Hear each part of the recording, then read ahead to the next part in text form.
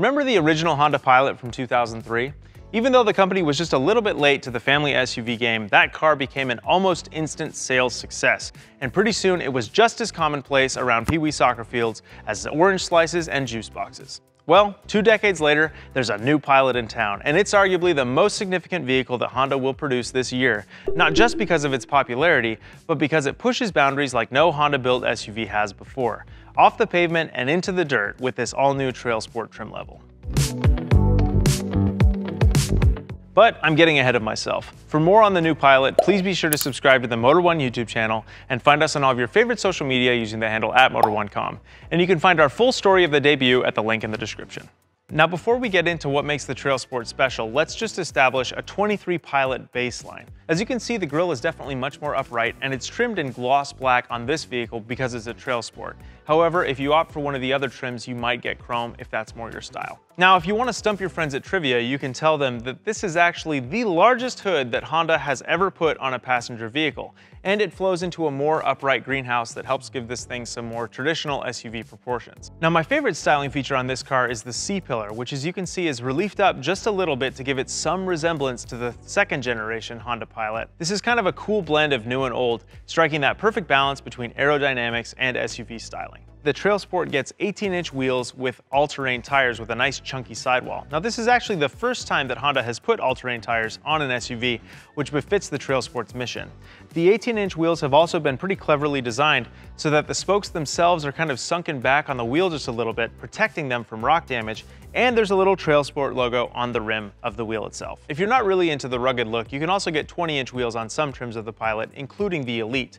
Those look a little bit more urbane and stylish, and they're not quite as tough looking, so if that's your thing, go for it. The Elite also gets some more bright work around the windows and down low on the doors, and it gets body colored door handles instead of the Trail Sports gloss black door handles. The 23 Pilot also gets a unique design in the rear with these taillights that don't share their design with anything else in the Honda lineup. They're connected by this gloss black panel in the middle that hides Pilot badging in the same color as the underlying surface.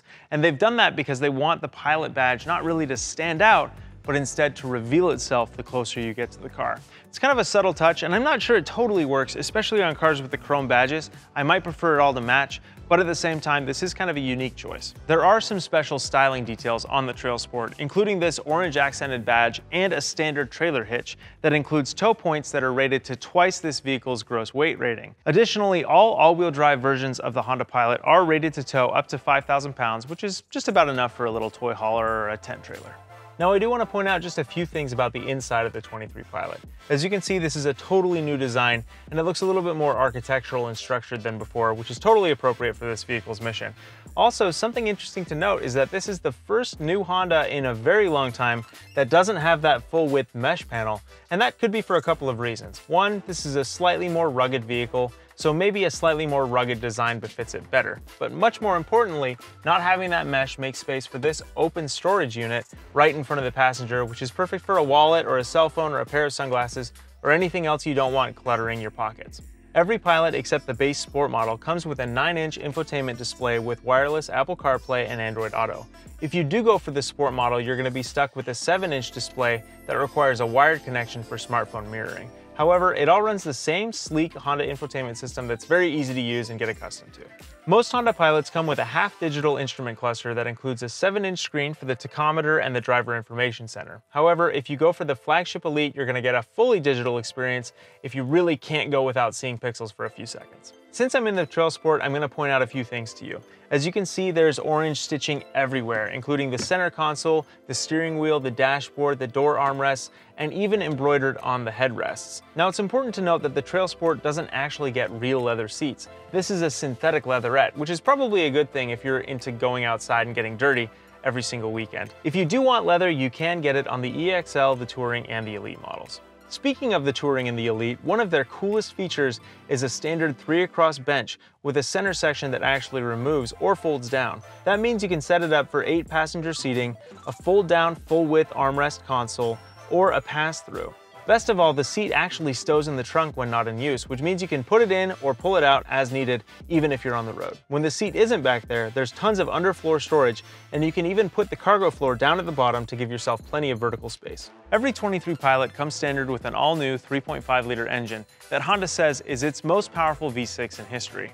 Don't get too excited though, because its 285 horsepower and 262 pound-feet are still middling numbers in a class that also includes the Hemi-powered Jeep Grand Cherokee L and the torquey turbocharged Ford Explorer. Even so, Honda has taken some steps to reduce the mechanical complexity and increase the efficiency of this engine, including a new head design and slightly revised variable cylinder management. Most trim levels of the 23 Pilot come standard with front-wheel drive, although you can option up to the company's iVTM4 second generation torque vectoring all-wheel drive system.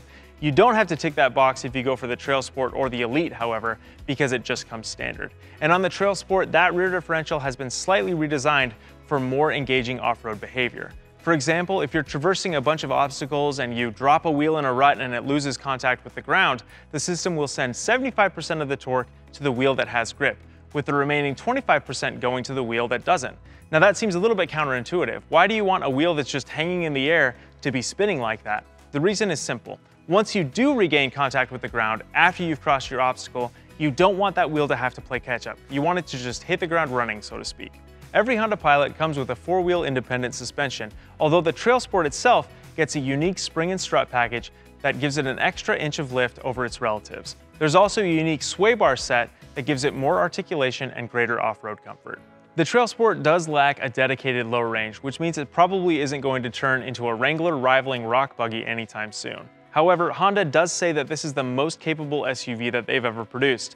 And since the old Pilot was surprisingly fun to hoon through the dirt, I'm very excited to put a Trail Sport through its paces. Whenever Honda redesigns its bread and butter automobiles, we've come to expect the usual improvements, a refined interior perhaps, or some additional family-friendly features. And the 23 Pilot absolutely delivers on both of those fronts. The cabin is beautiful and there's stuff like that removable center rear seat section that should make it easier to live with on a daily basis. However, I was not expecting the company to add some genuine mechanical improvements to this Trail Sport trim. And while it's not going to be a Bronco or a Wrangler rival, it still looks like it'd be a hell of a lot of fun to take on a long camping trip through BLM land. The 23 Honda Pilot hits dealers this December, and although the company hasn't released pricing yet, it's fair to expect it to start at right around 35 grand for the base front drive sport model, cresting all the way to 50 or $55,000 for the top spec all-wheel drive Elite. We should know more specifics soon, so please stay tuned, and as always, thanks for watching.